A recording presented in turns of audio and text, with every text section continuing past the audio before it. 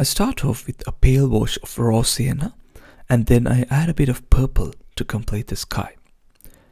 Then a mix of burnt sienna, raw sienna and a bit of blue to complete the foreground.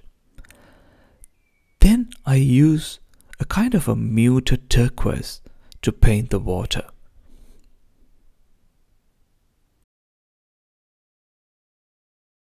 The darker bits are painted using burnt umber and a bit of blue.